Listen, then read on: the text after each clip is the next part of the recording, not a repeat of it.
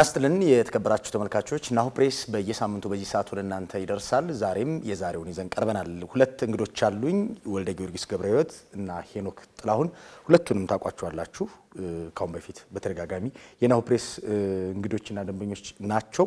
ሁለታችሁንም በጣም አመሰግናለሁ። የፖለቲካ ተንታኝና ጋዜጠኛ ናቸው። እኔ ያየሰው ሽመልስ ፕሮግራሙ በመምራት ከመላው ስቱዲዮ ባልደረቦች ጋር ወደ እናንተ በማድረስ አብሬያችሁ ቆያለሁ። ሁለት ርዕሰ ጉዳዮችን እንድናይ ነው እነዚህን ሁለት እንግዶች የጋበዝኩት። ሁለታችሁንም በጣም አመሰግናለሁ። ሄኖክና ወልዴ ጠራ እናመሰግናለን። ድምጻችሁ ግን አይሰማም፣ የተከፋችሁ ይመስለው በጥሪው። እሺ፣ ለማንኛውም የመጀመሪያው የመጀመሪያው ርዕሰ ጉዳይ ሶስቱ ጄኔራሎች ጽሁፍ በሪፖርተር ጋዜጣ ላይ ወጥቶ ነበረ ባሳለፍነው ሳምንት። በጄኔራል ጻድቃን ገብረትንሳኤ፣ ጄኔራል ታደሰ በርሄና ጄኔራል መስፍን አማረ በጋራ የጻፉት ጽሁፍ በጣም ዘለግ ያለ ጥልቅ ትንታኔ የተጻፈበት የአገራችን ወቅታዊ ችግር ምንድን ነው ብለው መፍትሄዎቹንም የጠቆሙበት በዋናነት ደግሞ መጪው አገራዊ ምርጫ መካሄድ አለበት የሚል ይዘት ያለው ጽሁፍ ጽፈዋልና ይህንን ጽሁፍ ይዘቶቹን እያነሳን እንድንወያይ የመጀመሪያ ጉዳይ እናደርገው። ይሄን ሄኖክ መልካም ረዘም ያለ ጽሁፍ ነው። ያው ሪፖርተር ላይ የወጣ ጽሁፍ ነው። ሀሳቡ የሶስት ቀድሞ ጀነራሎች በቀደመው ይሁን በአሁን በኢህአዴግ ውስጥ የከፍተኛ የመንግስትም ይሁን የሚሊታሪ ውስጥ ኃላፊነት ላይ የነበሩ ሰዎች የሰጡት የግል ሀሳብ ነው። ግን ሀሳቡን ደጋግሜ አንብቤዋለሁኝ። በጣም ዝርዝር አሁን ኢትዮጵያ ውስጥ ማንኛችንም የምንወያይባቸው ጉዳዮችን በተለያየ መንገድ ከነ መፍትሄ ከሚሉት እነሱ መፍትሄ ብለው ካስቀመጡት ሀሳብ አንጻር አንስተዋል። እንግዲህ እኔ ደስ ያለኝ ነገር በተሻለ መጠን ጽሁፉን genuinely ለመጻፍ የተደረገው ያደረጉት ጥረት ጥሩ የሚባል ነው። ምናልባት እንደዚህ አይነት ሀሳቦች በተለያየ መንገድ ቢመጡና የመወያያ ርዕስ ቢሆኑ መልካም ነው። ምክንያቱም የመጀመሪያው ነገር በተለይ ዲሞክራቲክ በሆነ system ለመፍጠር የበለጠ ብዙ ሀሳቦች ጠረጴዛው ላይ መጥተው ከዛ ውስጥ የተሻለውን መምረጥ የብዙሃኑ ስራ ይሆናል። ስለዚህ በዚህ መሰረት ነው ያየሁት። እንግዲህ የመጣውን ለውጥ እኔ የተረዳሁት የመጣውን ለውጥ በደፈናው ተቀብለውታል። ማለት ትክክል ነው። የነበሩ ችግሮች ነበሩ። በተለይ ምንም እንኳን ከስልጣን ሽግግሩ ኢህአዴግ ውስጥ ቢሆንም ግን በቀደመው ኢህአዴግ ውስጥ የነበሩ ከኮረፕሽን ጋር ከዲሞክራሲ ጋር ከመልካም አስተዳደር ጋር ሌሎችም ሀሳቦችን አንስተው የነበሩ ችግሮች ትክክልና ህዝቡንም ያማረሩ እንደነበር ያነሳሉ። የመጣውም ለውጥ በተቃራኒው እነዚህ ለእነዚህ ችግሮች መፍትሄ መስጠት አለበት ያለበት ሊሆን በሚችል መንገድ መሄድ አለበት የሚል ሀሳብ ያነሳሉ። ግን አሁን ባለው ሁኔታ እነሱም እንደሚያስቀምጡት በተለይ ሀገሪቱ ውስጥ ከሚዲያውም አንጻር ከፖለቲከኞችም አንጻር ደጋግሞ የሚቀነቀኑ ሀሳቦች ቀድሞ የነበረውን ችግር በባሰ መንገድ ወደፊት እንዳያስቀጥለው ስጋታቸውን ገልጸዋል። ለነዚህ ብለው መፍትሄ ብለው ያስቀምጡት ነገር አለ። የህገ መንግስቱ አለመከበር ፖለቲካ ልዩነቶችን ሰላማዊና ዲሞክራሲያዊ በሆነ መንገድ ሳይሆን በጸጥታና አስተዳደራዊ መንገድ እየተፈታ መሄድ፣ ህብረተሰቡን አድርባይና ተሸማቃቂ አድርጎ መግዛት፣ የመልካም አስተዳደር እጦት፣ ፍትሐዊ ያልሆነ የኢኮኖሚ ተጠቃሚነት፣ የፓርቲና የመንግስት አለመለየት፣ የህዝብ ተመራጮች ለህዝባቸው ሳይሆን ለፓርቲያቸው ታማኝ መሆናቸው ይሄን ለውጥ ገፍቶ እንዲመጣ ያደረገ ያደረጉ አስገዳጅ ምክንያቶች ናቸው ይላሉ እና ጄኔራሎቹ የሚሉት የለውጡ ውጤታማነትም በአሁኑ ሰዓት ያለው ለውጥ ሂደቱም ሆነ ውጤቱ መለኪያውም ከነዚህ አንጻር ነው የሚል ይዘት አለው። ወልደ ጊዮርጊስ ሶስቱም ጄኔራሎች አሁን ያለው ሂደት ለውጥና ነውጥ ወይም ደግሞ ቀውስ አድርገው ይገልጹታል። ለውጥ አለ የሽግግር ብሎ ያስቀመጡት እና ግን ደግሞ ሽግግሩ የፖለቲካ ቀውስ ውስጥም የገባ ነው እና ለዚህ ምክንያቶቹ ተጠባቂ የሆኑ ነገሮች ነበሩ። እንደ ውጤት ፍትህ መጓደል፣ የመልካም አስተዳደር እጦት፣ የኢኮኖሚ ኢፍትሐዊነት፣ ማህበራዊ ጉዳዮች ማለት ነው እና እነዚህ እነዚህ rationalize ሲያደርጉ ነው አንተ ያልካቸውን የጠቀሱት እና በዚህ ደረጃ concerned ሆኖ ጀኔራሎች ሲጽፉ እኔ ይሄ ጠለቅ ያለ ነው። ለምሳሌ የኢትዮጵያ ጀኔራሎች ስለ ወቅታዊ ሁኔታ ብዙም አይጽፉም። ከስራ የወጡ ማለት ነው።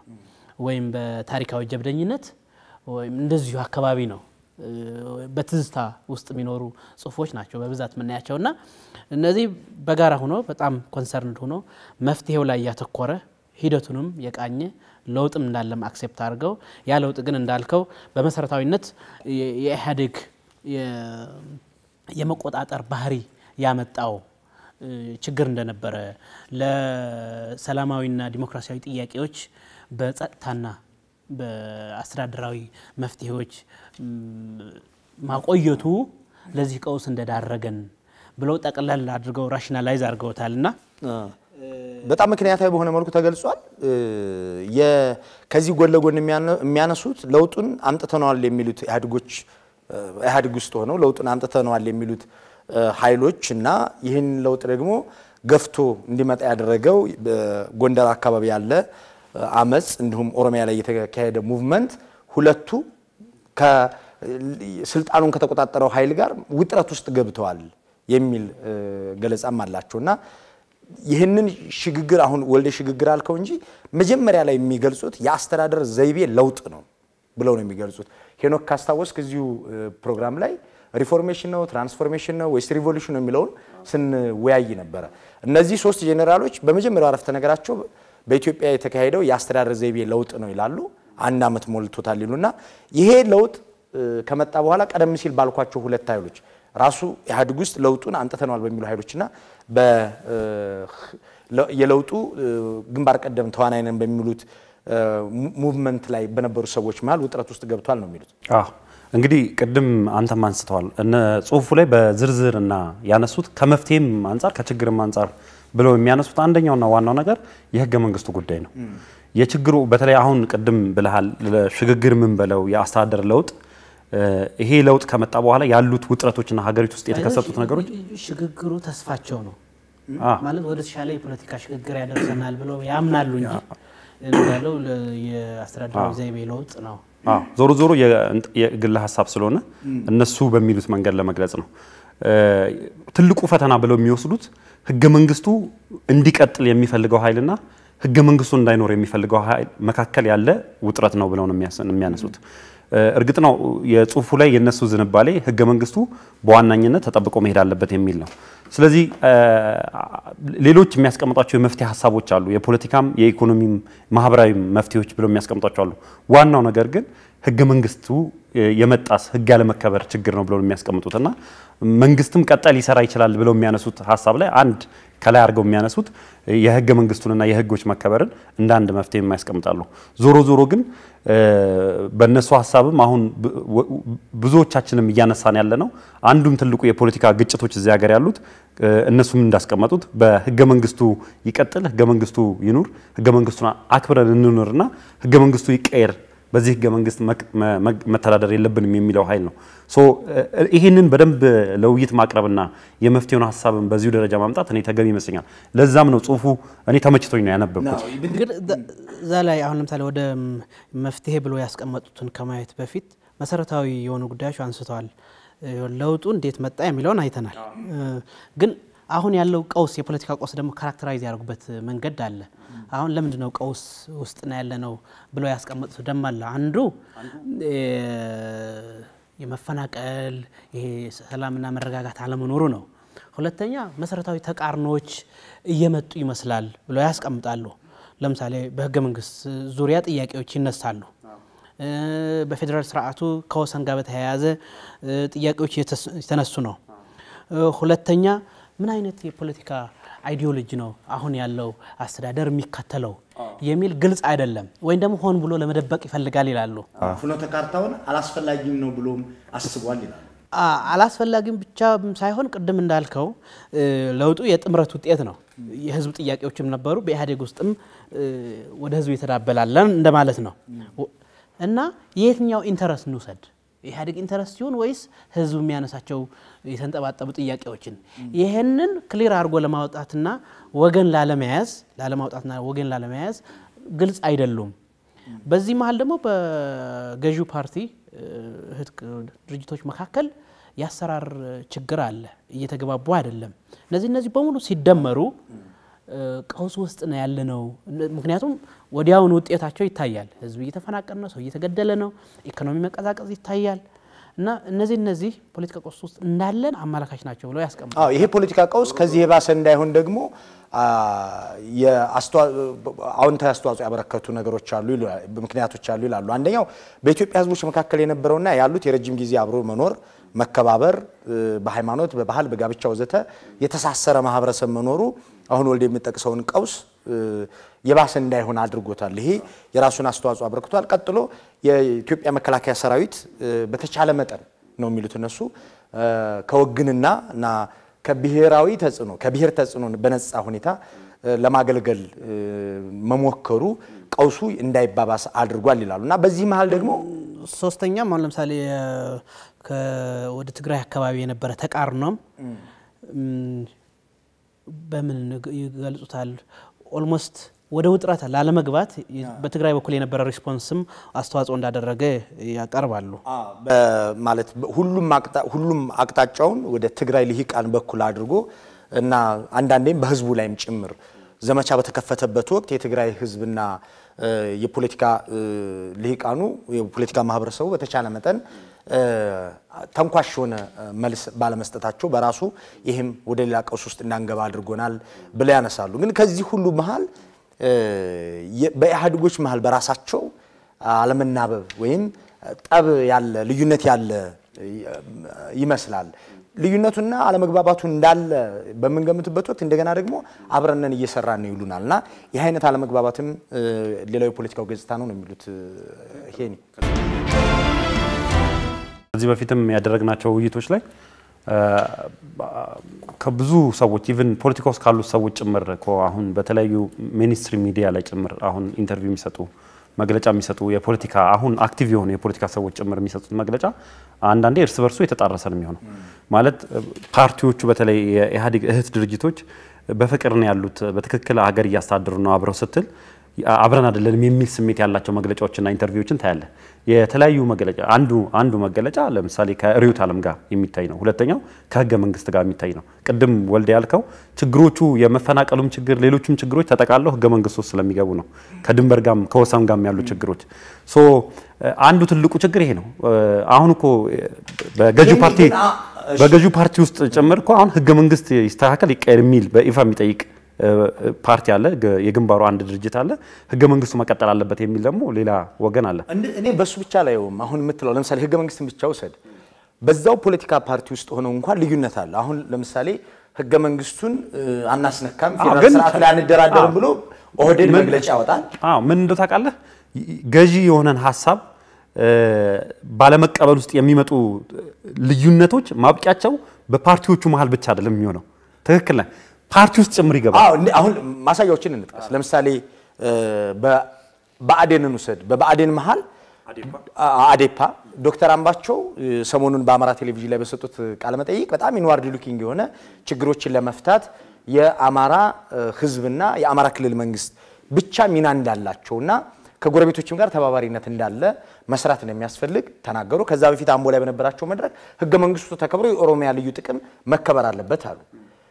የኢህአዴግ እህት ድርጅቶችም ጋር በትብብር እንደሚሰሩ ተናገሩ። የጽህፈት ቤት ኃላፊ የአዴፓ የጽህፈት ቤት ኃላፊ አቶ ዮሐንስ ቧያለው ደግሞ ለዋልታ ቴሌቪዥን ሲናገሩ ህገ መንግስቱ የአማራን ህዝብ የማይወክል እናም መቀየር ያለበት ኢህአዴግም አብዮታዊ ዲሞክራሲ ውስጥ እንደሌለ በዚህ ህገ መንግስትም የሚመጣ ተጠቃሚነት እንደሌለ በሚያሳይ ሁኔታ ነው ቃለ መጠይቁን የሰጡት። በነገራችን ላይ ስለዚህ ምክር ቤትም እኮ አንስተውታል። አማራ ክልል ምክር ቤት ይህ ጉዳይ እኮ አጀንዳ አድርጎ ስለዚህ ፓርቲው ውስጥ ራሱ አሁን አዴፓ ውስጥ ተመልከት፣ ይህን ያክል ልዩነት ያላቸው ኃይሎች አሉበት። ኦህዴድ ሙሉ በሙሉ ህገ መንግስቱ እንዳይነካብኝ ብሏል። ህወሀት ደግሞ በአቶ መለስ ቋንቋ ህገ መንግስቱ ቢሻሻል ጸጉሩን አይነጭም ወይም አሁን ባለው ሁኔታ ደግሞ ህገ መንግስት ለማሻሻል የሚያስችል ቅቡልነት የለኝም ብለዋል ጠቅላይ ሚኒስትሩ። እነዚህ ነገሮች ስደማምር እርስ በርስ እዛው ፓርቲዎቹም ውስጥ በአንዱ ፓርቲ ውስጥ አለመግባባት ያለ ስለመሰለኝ ነው። በነገራችን የእነሱ አለመግባባት ነው ፍሎ እያደረገ የእነሱ ክፍተት ነው ያን ሁሉም ያመጣው። ለምሳሌ አሁን ኢህአዴግ ሶሊድ ሆኖ አቋም ቢታወቅ ወይ ፌዴራሊዝም ስርዓቱ ለኔጎሽሽን አይቀርብም፣ ይቀርባል። ስለ ህገ መንግስቱን አንዱ ነገር ቢል ሌላው ታኮ አይገባም። ስለዚህ የነሱ መሰነጣጠቅ በሀሳብና በተግባር ውህድ አለመሆን ነው አሁን ይህን ሁሉ ክፍተትም የፈጠረው። ስለዚህ ዋናው ጀነራሎቹም እንዳሉት በፓርቲው መካከል ያለ ልዩነት የተግባርም የሀሳብም ማለት ነው። ከዛ ከዛ የሚመነጩ ነው ሌሎቹ በሙሉ አለበለዚያ የምርጫ ሰሞን አጀንዳዎች እንጂ የአመቱ ሙሉ አጀንዳ ሊሆን አይችሉም ነበር። ይሄ ግን ምን አተርፎልናል? ያ ሁሉ ቀውስ ይዞ መጣ ማለት ነው። ግን እኔ በጀነራሎቹ አሁን ላለው ከአደጋ እንድንተርፍ ያደረገን ብለው የገለጹት አለ። ለረዥም ጊዜ የተገነባ ወንድማማችነት እሴቶች የሚሏቸው ነገሮች አሉ። አሁን ካለው አንጻር ናቸው እነሱ የገለጹት እና እኔ ግን ከዛ በላይ መሄድ እንችል ነበሩ። በአጠቃላይ ሀገራዊ ፌዴራላዊ እሴቶችን በደንብ አልገነባንም እንጂ ምንም በማያሳስብ ደረጃ መድረስ እንችል ነበር ብዬ አስባለሁ። ምክንያቱም ወደ ኋላ ተመልሰው ነው እነሱ characterize እያደረጉ ያሉ። እሱማ እኮ ፖለቲካውን ትተውት ወደ አንትሮፖሎጂው ነው የገቡት። አይተው ከሆነ ማህበረሰባዊ ትስስራችን ጥሩ ስለሆነና interdependent ስለነበረ ስለሆነ ብቻ ስለነበር አዎ፣ ስለነበረ አገሩን አቆይቶታል። በሰብአዊ ግንኙነት እየኖርን እንደሆንን እግረ መንገዱ ፖለቲካውማ ይሰጣል። fail አረገ እኮ ነገሩ። አዎ አሁን እኮ እነሱ ያሉት እኔ ሁለት ነገር ነው። አንደኛ የማህበረሰቡ ግንዛቤና የአኗኗር ሁኔታ ወደ ባሰ ቀውስ ውስጥ እንዳንገባ እንዳደረገን አብሮ የመኖር ባህል እሴቱ እኔ አሁን ያለውን አይደለም እነሱ refer እያደረጉ ያሉት የሚመስለኝ ቀድሞ የተገነባው የማህበረሰብ እሴቶች አሁን ከገባንበት ቀውስ የበለጠ እንዳንሄድ አድርጎናል የሚል ነው። በሌላ በኩል ደግሞ በአንድ በኩል ስታየው መከላከያውን ለምሳሌ አንስተዋል። ዲሲፕሊን የነበረ በመሆኑ ለህገ መንግስቱ ታማኝ የነበረ በመሆኑና የፖለቲካ እንቅስቃሴ ውስጥ በስፋት ባለመግባቱ ምክንያት ሀገሪቷ ወደ በለጠ አለመረጋጋት ውስጥ እንዳትገባ አድርጎናል የሚል አንስቷል።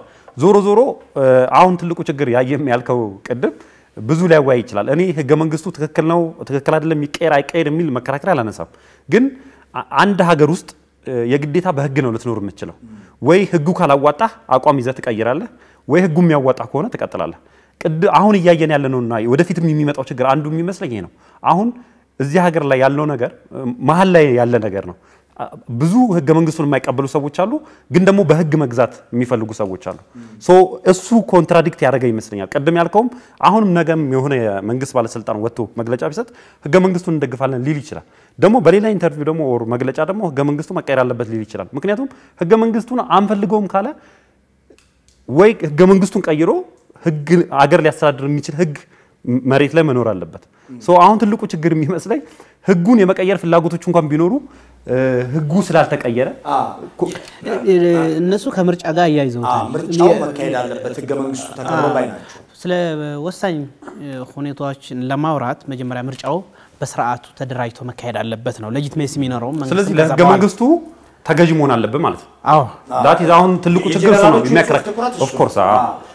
ወደ እዚ- እዚሁ ላይ እነዚህ ሶስት ጄኔራሎች ባነሱት ጽሁፍ ላይ ትግራይን በተለየ ሁኔታ ማየት እንደሚያስፈልግ በመግለጽ እኛም የዚህ ብሔር አባል በመሆናችን ምክንያት ትግራይን በተመለከተ ለብቻው መጻፍ ፈልገናል ብለው አንድ ንዑስ ርዕስ ሰጥተውት ሰፋ ያሉ ወደ ስድስት አምስት ገጾች አካባቢ ያክል ጽፈውለታል ጽፏል ስለ ትግራይ እና በትግራይ ውስጥ ያለውን ፖለቲካ ሊቀይርና ሊያሻሽል የሚችለው ከዛው ከትግራይ ክልል የሚመጣ እንጂ ፋይናንስ የተደረገ ወደ ትግራይ የገባ ወይም ስፖንሰር ተደርጎ ትግራይ ውስጥ የገባ የፖለቲካ ኃይል አይደለም ይላሉ እና ሰሞኑን ትግራይ ስለነበርክ ወልደ ጊዮርጊስ ለስራ ጉዳይ ወደዛ እንደሄድክ አውቃለሁ።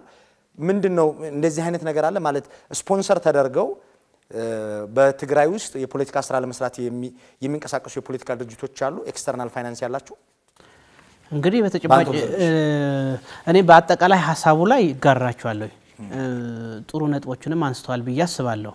አሁን ዋናው የሰዎች ስሜት ነው። በጣም ውጫዊ በሆነ አካል ተጽዕኖ ለውጥ እንዲመጣ አይፈለግም። ራሴን ጨምር እኔ እዛ አካባቢ እንደዚህ አይነት ለውጥ እንዲመጣ አልፈልግም። እኔ የምፈልገው ከስር የመጣ ነው መሆን ያለበት። አንድ በጣም በዛ አካባቢ ለምሳሌ የፌዴራል values እሴቶች የሰረፁበት አካባቢ ነው። ስለዚህ autonomous independent የመሆን ፍላጎት አለ። ፌዴራሊዝሙ እንዲሰፋ እንጂ እንዲጠብ ከመሀል የሚወረወር የሚቆረቆር ነገር እየተቀበለ እንዲኖር አይፈልግም። ምክንያቱም አሁን ዋናው ያለው ቅሬታ ህወሀት ከሌሎች የኢህአዴግ ፓርቲዎች ሆኖ አህዳዊ ስርዓት ተክሎን የነበረ ብሎ ነው የሚያምነው። በተለይ ወጣቱ በስም ፌዴራሊዝም ነበረ እንጂ ትግራይ መሰረት ያደረገ የትግራይ interest የጠበቀ በፌዴራሊዝም መሰረት አላገለገለንም የሚል ስሜት አለ። ስለዚህ ከዚህ በታች አዲስ ነገር አይጠብቅም። ስለዚህ አንዳንድ ወሬዎች አሉ የአካባቢ interest የሚያስጠብቁ የፖለቲካ እንቅስቃሴ ታይቷል እና obviously ስፖንሰር ሊሆኑ ይችላሉ የሚል ግምት ተወስደዋል እና በአጠቃላይ ግን ጀኔራሎቹ እንደገለጹት በዛ አካባቢም ተመሳሳይ በኢትዮጵያ ደረጃ እንደነበረ የሕግ አለመከበር፣ የመብት መጣስ፣ የኢኮኖሚ ጥያቄዎች ብዙ ብዙ ብዙ ነገሮች ነበሩ። ሰልፎች ይካሄዱ እንደነበረና በወረዳዎች ለብዙ ወራት የቆየ እንደዚህ ጥያቄዎችን እናውቃለን። ከአስተዳደራዊ ጉዳዮች እንኳን ሌላ እንትተን ማለት ነው። complain የሚያደርጉ የፖለቲካ ፓርቲዎች አሉ፣ እስሮ የታሰሩ ሰዎች አሉን ምናምን የሚሉ ማለት ነው። ስለዚህ የተለየ ነገር አልነበረም ከሌላው ያው ተመሳሳይ ችግር ነው የነበረው። ይሄ እያለ ግን የትግራይ ህዝብ ላይ የተለየ ዘመቻ ተከፈተ ያሉ ጄኔራሎቹ በተለይም ጸጉረ ልውጥ፣ የቀን ጅብ ወዘተ የሚሉት ገለጻዎችና ትግርኛ ተናጋሪዎች ዘረፉን፣ ትግርኛ ተናጋሪዎች ገረፉን የሚሉት ዶክመንተሪዎች እንዲሁም ደርግ በራሱ ነው የወደቀው እንጂ እ፣ በኢህአዴግ አይደለም የሚለው ንግግር የጠቅላይ ሚኒስትሩ ንግግር ማለት ነው። አብዛኛው ከ60 ሺህ በላይ መስዋዕት ተከፍሎበት ለመጣው ለውጥ ህብረተሰቡን እንደ ትልቅ ቁስል እውቅና ከመንፈጉም በላይ እንደ ትልቅ ቁስል የተጣለበት ነው ብለው ያነሱታል። መጀመሪያ አካባቢ እንደ ማንኛውም ኢትዮጵያዊ ምክንያቱም ጥያቄዎች ስለነበሩ ለውጥ ይፈልግ ነበረ። የመጀመሪያ የዶክተር አብይ ሰሞንም አቀባበሉ በጣም ጥሩ ነበረ። ኋላ ላይ ግን የጥላቻ ንግግሮች የጅምላ ፍረጃዎች በዙ እና ያን ተከትለው ደግሞ ሪል ቫዮለንስ ብሔር ተኮር የሆነ ጥቃት ታየ። ከዛ በኋላ በጣም ወደ መቃወም ዝንባሌ ነው የሄደው ህዝቡ ማለት ነው፣ በተለይ ወጣቱ እና እንደውም በህወሀትም ህወሀት እያስጠቃን እንደሆነ ነው ጎልቶ ወጥቶ የነበረው። እንዳልከው በጣም የጥላቻ ንግግሮች ህዝቡ ላይ ጥቃት እንዲደርስ አድርጓል። ከጠቅላይ ሚኒስትር ጀምሮ ሁሉንም ቅሬታ አለን የሚሉ ፖለቲካ ፓርቲዎች በትግራይ ላይ ነው focus ያደረጉት። ስለዚህ የዛ አካባቢ መጠቃት ለኢትዮጵያ አንድነትም እንደማይጠቅም ለማንጸባረቅ ፈልገው መሰለኝ ትክክል ነው። የሚያነሱት ሀሳብ ላይ እኔም ሶስት ነገሮችን ተረድቻለሁ ከትግራይ ጋር የተያዘው አንደኛ ትግራይ ክልል ውስጥ ራሱ ከለውጡም በፊት ለውጥ ብለን የምናነሳው የሽግግሩ ብለን ቅድም ያነሳ ነው በፊት መሰረታዊ የሆኑ የህገ መንግስት ጥሰቶች እንደነበሩና የትግራይም ህዝብ የዛ ችግር ሰለባ እንደነበር በስፋት አንስተዋል። ከኢኮኖሚም አንጻር ከፖለቲካም አንጻር በዚህ ምክንያት የትግራይ ህዝብ ለለውጡ የራሱ የሆነ አስተዋጽኦ እንዳደረገ በተለያየ መንገድ ገልጾታል። ለምሳሌ የትግራይ ወጣቶች በተለያዩ የማህበራዊ ትስስር ገጾች ጭምር ድጋፍ ሲያደርጉ ቅስቀሳ ሲያደርጉ እንደነበር ለለውጡ ድጋፍ እንደነበራቸው በኢትዮ ኤርትራ የነበረ ጉዳይ ለሁለት ዓመት ካምፔን የተደረገበት ነው። ሰላም እንዲወርድ የሰብአዊ መብት ጥሰት፣ የኢኮኖሚ ተጠቃሚነት በሙሉ የነበረው ነው። ትግራይ ውስጥ የነበረው ለውጥ ድጋፍ እንደነበረው ሲጀምር ሰለባ ስለነበረ የትግራይ ትግራይ ውስጥ ያለውም ህዝብ ሰለባ ስለነበረ ድጋፍ እንደነበረው፣ ሁለተኛው እና የተረዳሁት ነገር ቅድም እናንተ የምታነሱት ከዚህ ለውጥ በኋላ ግን ህዝቡ የትግራይ ህዝብ ለውጡን እንዲጠራጠር የሚያደርጉት በርካታ ምክንያቶች እንደተከሰቱ ጽፏል።